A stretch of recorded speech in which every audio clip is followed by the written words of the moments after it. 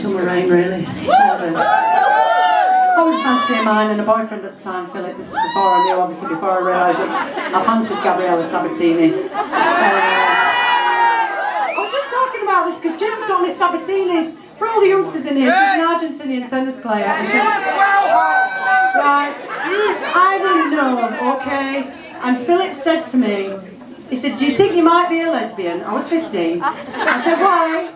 He said, because you've got Sabatini po posters all over your bedroom wall and you don't play tennis. anyway, it took me another four years, but anyway. Why was I saying that about kissing in the summer rain? Because I tried it with him.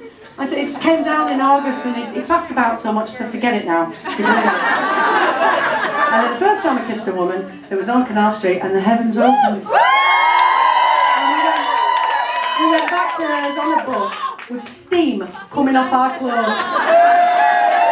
True story. Let's play it.